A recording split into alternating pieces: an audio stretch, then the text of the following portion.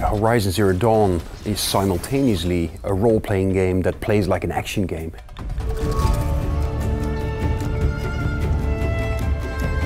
We're known for our first-person shooter series, Killzone, and uh, well, storytelling in an open world and in, in, an RPG is not something that we had done before. But I think all of us, we really welcome it as, as just a, a wonderful opportunity to create something that's so fresh, so new. It's a wonderful challenge for us.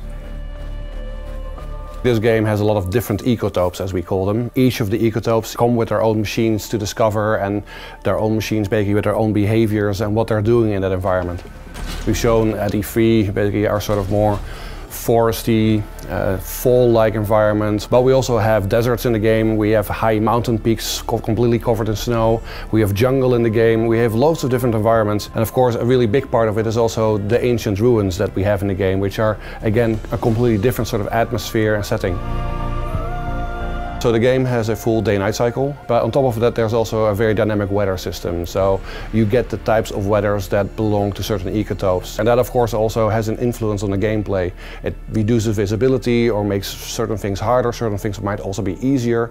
So there is a, a, a large component of how the look and the weather and the day cycle basically impacts your experience as a player.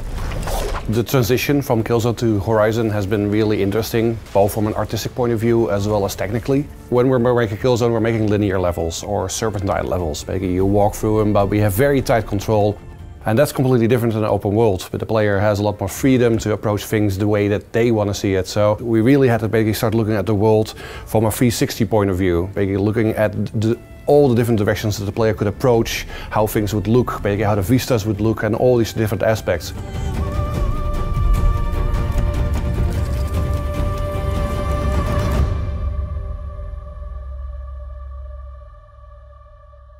PS4 for the players.